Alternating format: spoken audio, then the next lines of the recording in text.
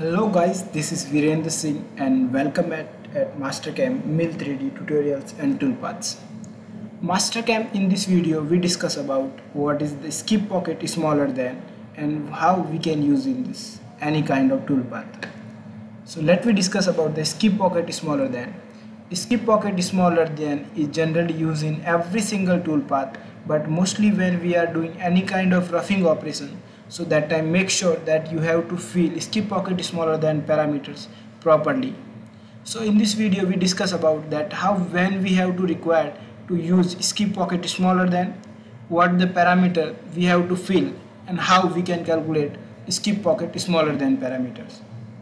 So first mainly we are decided that why what is the reason that when we have to required to choose skip pocket smaller than parameter so let me show you one pic. This is our end mill in any kind of end mill when we are using any end mill for the machining purpose. So end mill generally have the cutting fluid at its depth on entire face. And if we are going to using any kind of inserted tool so that case inserted tool have the cutting edge at the side area but it don't have the cutting edge at the bottom center area the picture quality of this picture is not properly because my photographer Mr. Veer Singh is not a good photographer. So that's why the picture quality as you can see here this is our inserted tool where I am using that inserted tool which don't have the cutting edge at the center area. And yet here we are using an end mill and then end mill have the cutting edge at the bottom area. So let me discuss about that. When we are using any kind of end mill so that case what is happen that end mill can cut the entire pocket at the bottom area.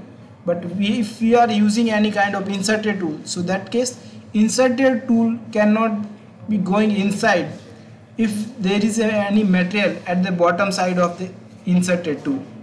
So that case we are using skip pocket smaller than tool parameters. Make sure when if we are using skip at here in the skip pocket smaller than if we are using as per tool for example at here we are using a 20 mm of ball nose.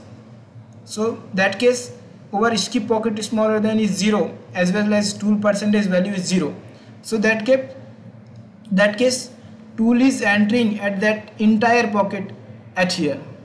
If let me show you in a section view.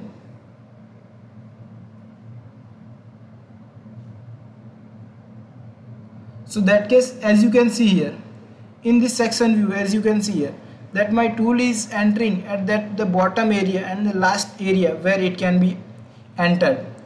And if we are focused on the second one tool path so that case that case you can see here that my tool is not entering at the last area of the tool. And if we are using and if we are analyzed on the next next third one tool path so that case as you can see here my tool is entering only at that one area. If we are opening the second one tool path at here skip pocket is smaller than. We are using tool percentage diameter is 20% of tool diameter. It means if we are using a 20 mm of any kind of 20 mm of diameter tool or we are using tool, tool diameter percent is 20% so that means my tool will never enter in if my pocket is smaller than the 20% of 200% of tool diameter. It means my tool never be entered in the small if there is any pocket size which is small than the 40 mm. So if we are analyzing that one pocket size so i just click on this line on analyze entity property. So this is the minimum that pocket size is 40 mm. It means my tool will never enter below this one area. So if i am using at here if i am using any kind of inserted tool so that case i have to input the 20 percent of tool diameter of my tool it means my pocket will be not entered in the 20% of tool diameter. At here you are using any kind of inserted tool. If you are using a 20 mm of inserted tool if you are using 50 mm of inserted tool or any kind of inserted tool. If you are using an inserted tool you make sure that you have to input tool diameter percentage is 20 2000 percent at here. So that case my tool will not enter if that tool diameter at the 2200 percent of as per their pocket size.